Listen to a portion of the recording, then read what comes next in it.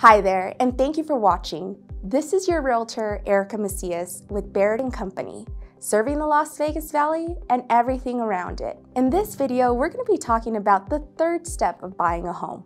This is a series of 10 short videos that will help you understand the process of buying a home. Step 3. Getting a pre-approval letter. Now that you've done all that you can to become a great candidate, now you're ready for your pre-approval letter. This means that the loan officer has gone over all your finances and credit for a specific loan in one or more mortgage programs. The lender will offer you a pre-approval letter. This will be used when you are ready to make an offer on a home. If you have any questions in regards to the home buying process for Las Vegas, you can call, text, email.